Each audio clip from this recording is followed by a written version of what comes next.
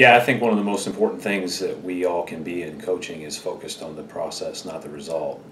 Because um, I think ultimately what we're trying to do is we're trying to play or get our kids to play to a standard, and that standard is to improve every day and be a great teammate.